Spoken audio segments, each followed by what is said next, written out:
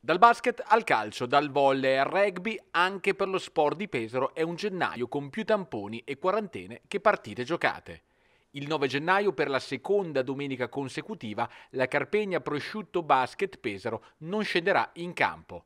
È infatti ufficialmente rinviata la trasferta in casa della Germani Brescia. Inevitabile con 5 giocatori della VL positivi più un membro dello staff e anche per la mezza dozzina di nuovi positivi nella squadra di Brescia. La VL è attualmente in quarantena con la prospettiva di riprendere gli allenamenti da martedì.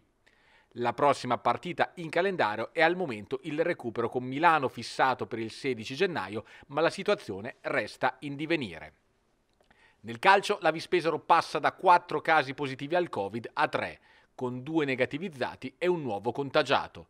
Situazione relativamente meno grave di una Serie C falcidiata dai contagi che dopo aver già posticipato il turno di questo weekend è ormai intenzionata a rinviare anche il turno del 16 gennaio per riprendere il campionato il 23.